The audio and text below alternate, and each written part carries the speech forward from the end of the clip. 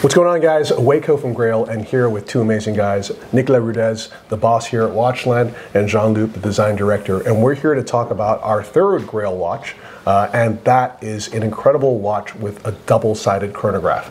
So I believe this watch was created in 1992, is that right? Exactly, it was a Frost uh, World uh, uh, novelty yeah, at this time.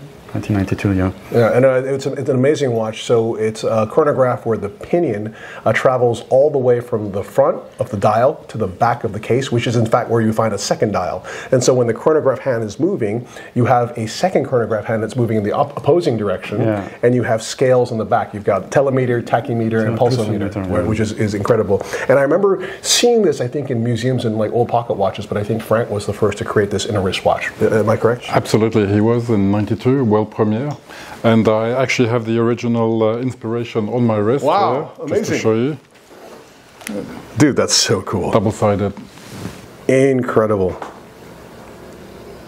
It's, I mean, it's just so ingenious, right? And it's just such a demonstration of the creativity here. Mind-boggling, absolutely. And Franck was the only one to do such um, movements. And, and uh, but we haven't done just a normal chronograph. In fact, uh, I remember when I was talking to both of you gentlemen, you were like, you know, guys, let's let's let's raise the stakes. Let's do a rattrapant. So we've actually done split-second chronograph, which is also double-sided. Split on the front side, and then you've got a second single chronograph hand on the back that gives you again a reading for these different scales.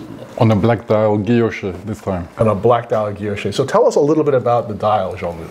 Yeah, we start from the original one and you to touch some, some new details, of course, to, to make a new life for this uh, function and this uh, beautiful movement. Absolutely. You know, I, I should also mention the reason that Franck Muller is able to achieve these watches, to take watches from their archives and make them again available to clients, is because of the incredible vertical integration of the manufacturer. You know, you we're, this is Watchland out here, and this is just part of what uh, comprises uh, Franck Muller Watchland. But this is the premises here in Genthod. It's 32 acres. There's 450 people here working. Uh, but in addition to that, the, the, you've got more in the Jura. We have more production lines uh, in the Jura and uh, Neuchâtel, where we produce our own dials. Right. Absolutely. So altogether, we have uh, 880 staff in Switzerland. So own cases, own dials.